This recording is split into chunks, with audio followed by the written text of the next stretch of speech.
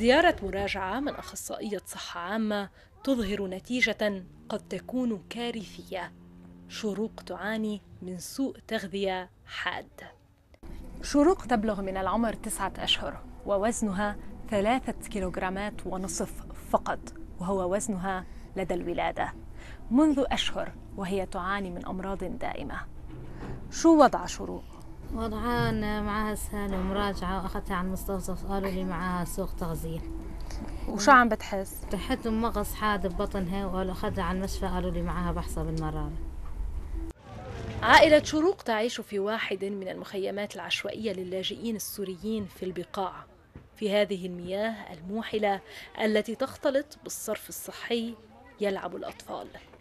بيئة مماثلة وشح غذائي يهددان بموت مئات الأطفال موتا صامتا بسبب سوء التغذية. هلا الحالات اللي عم نشوفها هن سوء تغذية حاد ناتج عن الوضع الحالي. آه، فبالتالي آه، عم نشتغل مع وزارة الصحة ومع اليونيسف لحتى نفعل المراكز الصحية.